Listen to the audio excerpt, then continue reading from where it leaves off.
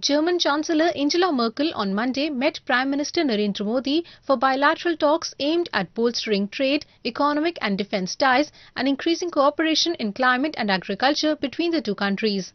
The two leaders met at the Hyderabad House in New Delhi.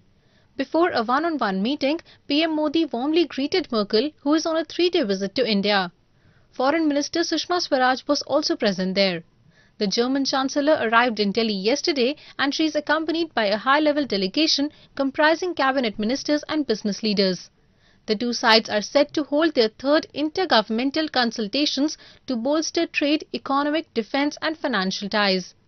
Earlier, the German delegation met Science and Technology Minister Harshvardhan. They also witnessed signing of various memorandums of understanding on different sectors. India and Germany are strategic partners since 2001.